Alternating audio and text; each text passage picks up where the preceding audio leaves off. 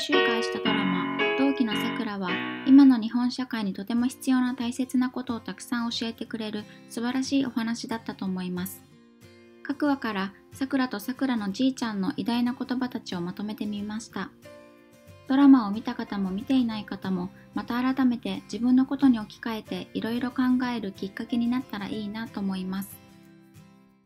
朝アパートのお隣さんからエッチな声が聞こえていたことに対しお隣さんに「すいませんが朝からなさっていることが丸聞こえでお子さんのいるお宅も困ると思うので少し音量を下げていただけると助かります」道の真ん中で騒いでいる若者たちに対しすいませんが、通行の邪魔になっているので、横に広がらないでいただけると助かります。社長の入社式での挨拶について、まず全体的に話が長いと思いました。一つの文章も長いので、大変いいことをおっしゃっているのに、それが伝わりにくいとも思いました。その他、社長の話の中で間違いがあったことを指摘する強さも描かれていました。物事や人を率直な目で見ているさくらだからこそできることだと思いました。さくらが自分と他の仲間との温度差で初めて仲間割れしそうになってしまった時じいちゃんからもらったファックス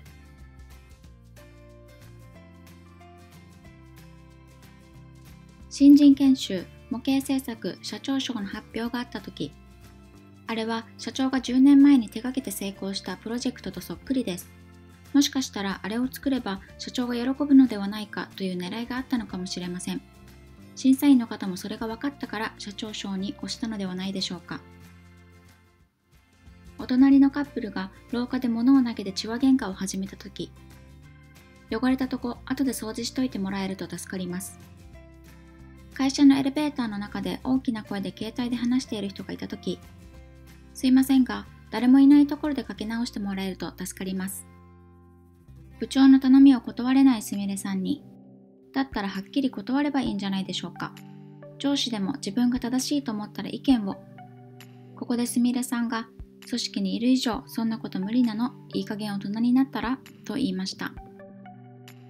部下に過酷な残業を押し付ける仲間の上司に対して、すいませんが、これ以上過酷な残業を強要して、気候くんが過労死でもしたら、上司として管理責任を問われることになると思いますが、その覚悟は終わりなんでしょうか？忙しいは心をなくすと書きます。人はあまりに忙しいと心に余裕がなくなり、頭も回らなくなります。いい仕事をするためには無駄な残業はすべきではないと多くのデータも言っています。周りによく大人になれと言われるも、どうしたら大人になれるかわからないとじいちゃんにファックスした時のじいちゃんからの返事。過労で倒れてしまった友達に対して、会社のみんなを応援したいと思う菊尾くんはすごいと思いました。ただ、菊尾くんが今一番応援すべきなのはあなた自身じゃないでしょうか。力いっぱい自分のお尻を叩いてください。それができるのは菊尾くんしかいません。最後のエレベーターを降りた後のシーンで、部長の大デコロの匂い少し強すぎると思いました。他者との打ち合わせの時、先方が不快になる恐れがあると思いましたので、念のためアパートのお隣さんがゴミの日ではない日にゴミを出したとき、すいませんが、燃えないゴミは明日なので、改めて出していただけると助かります。街で観光客が美術品に登って写真を撮っていると、すいませんが、これはロバート・インディアナという方が作ったれっきとした美術品なので、中に乗らないでいただけると助かります。取引先の専務からプライベートでも無理に誘われて困っている仲間を思って、その専務にゆりさんはあなたに好意をこれっぽっちも持っていないので、もう誘わないでいただけると助かります。取引先だから無下に断れないのをいいことに、弱い立場の女性を誘惑するのもやめてください。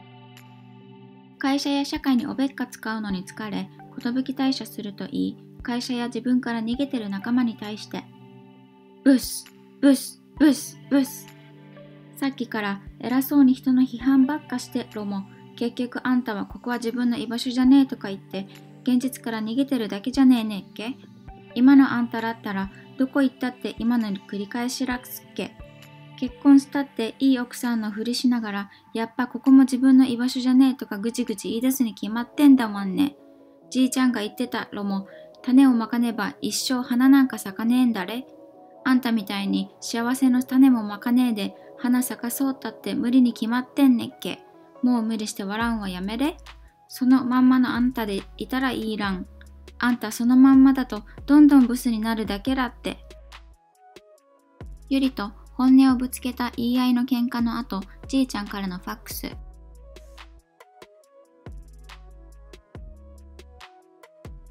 アパートの廊下に私物をたくさん置きっぱなしにしているお隣さんに、廊下は共有スペースなので片付けていただけると助かります。道でイヤホンをしながら歩いている人に対し、すいませんが、音楽を聴きながら歩くのは良くないと思います。外の音が聞こえずに事故に遭う可能性もありますので。試験に2度も落ち、自分には何も取り柄がないと落ち込んでいる仲間に、伊能忠敬が日本地図を作り出したのは55歳の時です。柳瀬隆さんのアンパンマンの人気が出だしたのも50代後半です。遅咲きの花だっていいじゃないですか。仕事や自分自身に自信をなくし、塞ぎ込んでしまった仲間を励ましてやれず、落ち込んでいるさくらにじいちゃんは、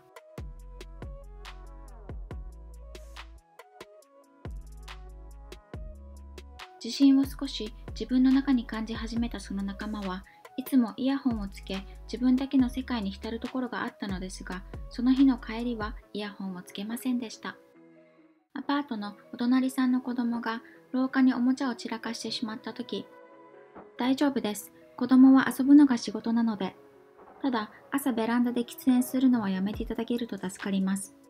タバコの副流煙はニコチンやタールが3倍以上で重大な健康被害を及ぼす危険性がありますので街でスマホを見ながら歩いている人に歩きスマホは危険です通行の邪魔になるし、他の方と衝突した時に怪我をする場合がありますので、やめていただけると助かります。別の人にも、歩きスマホは危険です。わざとぶつかって慰謝料を請求する輩もいますので、社長賞に選ばれるのは自分でエントリーした人だけで自分が会社にどれだけ貢献してるかを文書で提出してそれを見た直属の上司が推薦した人の中から選ばれると知ったさくら今回の社長賞に選ばれた社員もその人のお父さんは高級官僚のお偉いさんだと社長は知っていたから。その社長賞の表彰式があった時社長に社長賞は社長が社内を地道に回って私たちの働きぶりを見た上で決めていただいた方が価値が上がると思いました。会社からはただの親の七光だと言われ家族には自分の力も存在も認めてもらえず落ち込んでいる仲間を励ますことができず悩んでいたさくらにじいちゃんからのファックス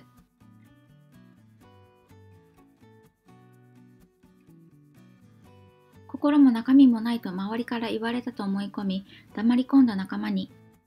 あんた黙ってたら何の価値もないから別にいいじゃない人に心も中身もないって言われたって嘘も方便って言うけどさ周りのみんなのために一生懸命言い続けたらどんなに嘘っぽくったって絶対相手の心に届くよ。自分のためだけじゃなくて人を幸せにしたい、希望や勇気を与えたいと思ってたら絶対いつか本当の言葉になるよ。じいちゃんが言ってた。勝ち負けなんかにこだわらずに自分の価値を知る方が大切だって。高級官僚の父親と兄に向かってその桜の仲間はあなたたちはそれでも国のリーダーですか？自分の身を犠牲にしてでもみんなを幸せにするために頑張るのがリーダーじゃないんですか？みんなが抱えている難しい問題を解決するために誰よりも考え、誰よりも悩むのがリーダーじゃないんですか？結局あなたたちは自分たちのいいようにするから黙ってろ。お前らはこっちの言う通りにしてればいいんだって言ってるだけじゃないですか。そうやって人のこと見下して自分のいいように物事を進めるのいい加減やめてもらえますか？あなたたちは自分のことしか考えてないじゃないですか。だったら教えてもらえますか？お二人とも何のために官僚になったんですか？高い給料もらって民間に威張れるからですか？定年が来たら何度も天下りしてその度に莫大な退職金をもらうためですか？この国に暮らす人たちを少しでもいいから幸せにするためじゃないんですか？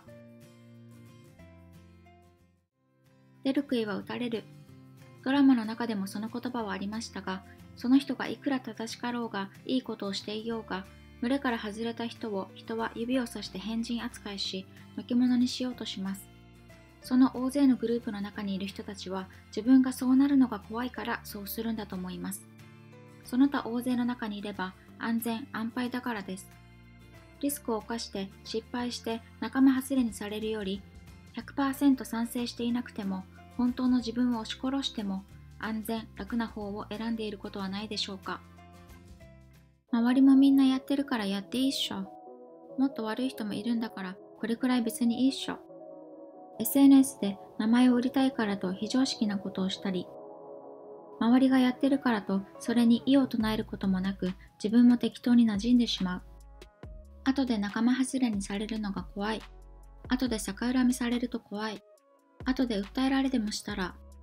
世の中はそんな恐ろしい人たちで溢れてしまっているのでしょうか。さくらのようにその物事自体を100%ピュアな目で見て声を上げる人がいなくなっているのではないでしょうか。世の中みんながピュアで素直で笑顔で優しくなってほしいけど今日から一斉に世界が変わることはありえません。あなたの嫌いな人の性格を変えることもできません。でも自分の思想行動を変えることは可能です。まず自分から自分のためそして人のため世界のためへと思想や行動を変えます。そのためにあなたが今日できることは何ですか？